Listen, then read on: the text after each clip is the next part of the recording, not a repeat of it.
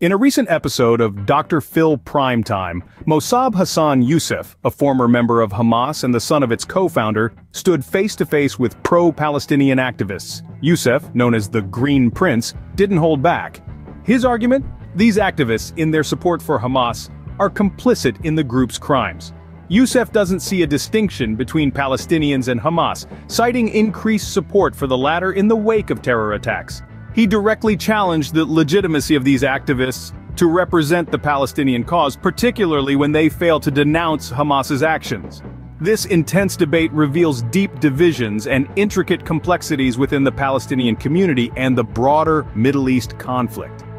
It's a stark reminder of the power of dialogue in unveiling the true nature of a situation, and in this case it left pro-Palestinian activists seemingly lost for words.